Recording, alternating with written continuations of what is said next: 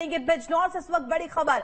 BJP नेताओं के साथ मारपीट का वीडियो यहाँ पर सामने आया जो कि तेज़ी से वायरल हो रहा है। आठ जून को नहर पर नहाने के दौरान अभद्रता की गई थी। मारपीट का वीडियो सोशल मीडिया पर वायरल हो रहा है। बीजेपी नेताओं ने एएसपी से शिकायत की है। बिजनौर के थाना धामपुर का यह पूरा मामला बताया जा रहा है। आठ जून को नहर पर नहाने के दौरान अभद्रता हुई थी।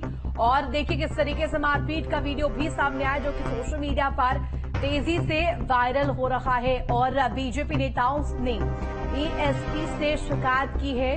और इसके साथ साथ आपको बता दें, पूरा मामला बिजनौर के धामपुर थाना क्षेत्र का बताया जा रहा है। और यहाँ पर देखिए, बीजेपी नेताओं के साथ मारपीट का वीडियो तेज़ी से वायरल हो रहा है।